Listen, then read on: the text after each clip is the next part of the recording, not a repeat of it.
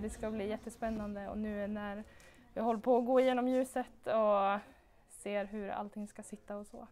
Äh, det, det känns som att nu, nu börjar verkligen så här, äh, nu händer det, nu ska det bli någonting. Det är så fruktansvärt roligt att få göra det här.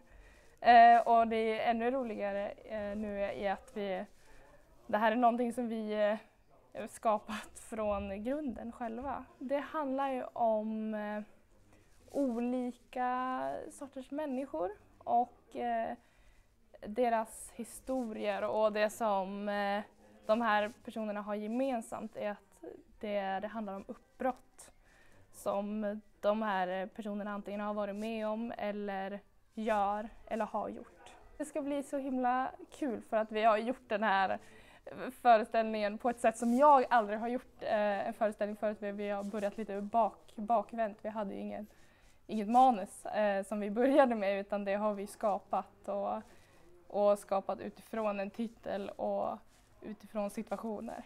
Så det tycker jag är väldigt kul. För det ju, skulle ju vara fint om ljuset liksom ändrar sig lite grann när de blir Nej, Jag och John Fisk, vi har ju jobbat ihop tillsammans Eh, i många år med sådana här sorts föreställningar, både på Viks folkhögskola men också i andra sammanhang där man skapar en föreställning från början.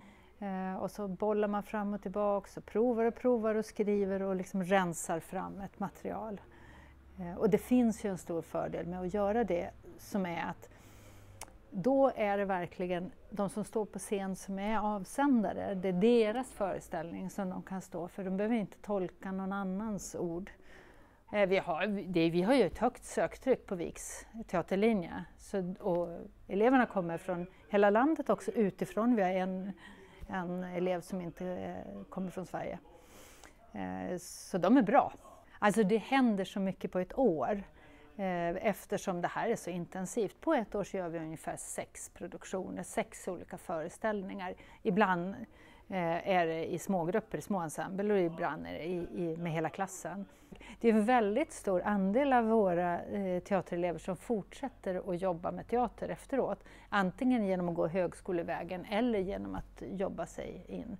Så jag kan hålla kontakt med de som gick här för tio år sedan eller fem år sedan. Och de är liksom på Dramaten och på andra eh, institutionsteatrar runt om, också i fria grupper, andra konstellationer och i andra länder. För mig är det jätteroligt att se dem på scen förstås, det är, och se när de gör bra ifrån sig, men också se att det, det som vi har på Vik, det sätt vi jobbar med teater, den människosyn och den teatersyn som vi har, sen sprider sig över, över världen och att eh, de förvaltar det. Det är vackert.